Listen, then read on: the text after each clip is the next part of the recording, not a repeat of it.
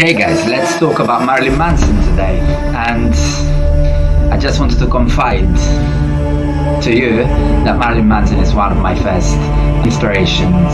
I've always loved his art, his music, uh, his way of expressing his way to be.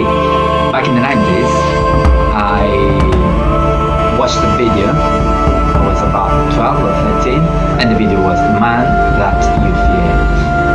was a very weird video for me. I was already into kind of dark industrial uh, music, uh, gothic I should say, uh, although I was just at the beginning of exploring in this brilliant genre.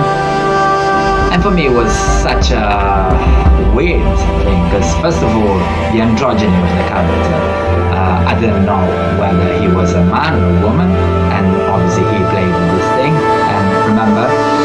It was back in the 90s where we didn't really have many ways of finding out whether he was a real man or, or a woman. And also the name of the man was like Marilyn Manson. Marilyn as far as I remember was uh, a woman name. But anyway I got shocked. I loved him since the beginning, and I remember going to school the day after, talking to my friends about how great this artist was. I didn't know what he was about, how to express it, and if he had ever recorded any albums. I just knew that I liked him, and that was probably the gateway for me to get into this genre fully remember buying the album Antichrist Superstar after a few months, and that was absolute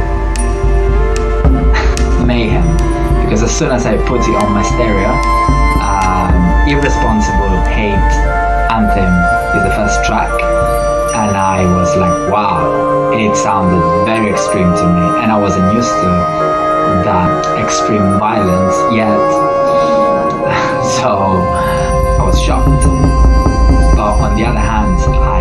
This stuff is very cool. So Marilyn Manson, going back to who he is, is an artist born in 1969 in Ohio, US. He moves to Florida back in mid 80s, where he starts a career as a as a musical journalist. He then gets inspired and forms a band in 1989 called Marilyn Manson and the Spooky Kids. Back in 1994, he releases the first album, and it's called Portrait of an American Family. An album that all the critics glorified. It's a proper icon of the era. Songs like Dope My Monkey, Lunchbox are symbol of something that was growing back in that time.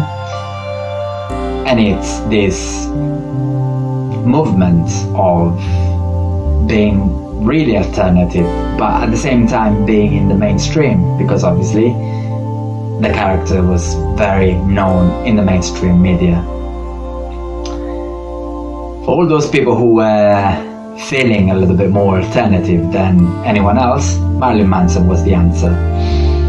Those people who were the misfits, those people who were disenfranchised, those people who felt a little bit different from the norm, then Marilyn Manson was somebody who gave us voice, and that was very important to us.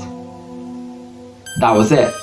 From that day on, I was in love with this world. That became my world. It became part of me. It was part of my life. I remember going to my room, listening to uh, his songs over and over again, and being completely immersed in this world of screams, strange lyrics. Obviously, back in the days, I didn't speak English, so I didn't know what he was about, but I knew that he was extreme. I knew that he was uh, criticizing firmly, uh, especially the religion, the Christianity especially in the video, very iconic of Antichrist Superstar, the video clip, which is a live version.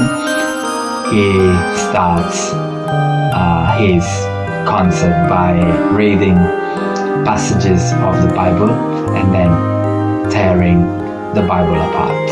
Obviously, this kind of symbolic act for us teenagers, alternative, I should say, teenagers back in the days were very powerful and evocative. So, this is the introduction to my favorite artist of all time. In the next episode, we are going to be talking about his albums. We'll go albums by albums and we'll go through an analysis what uh, they meant for the periods the era they were released and how they were created. What the difference the differences between the albums are. Who he worked with with the producers and all this kind of information that are vital for you to understand what type of character, what he meant for all of us teenagers of the second part of the 90s. For now, bye bye. I'll see you next.